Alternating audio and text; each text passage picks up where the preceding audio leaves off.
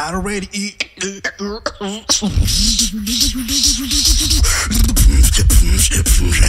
This is my love drop.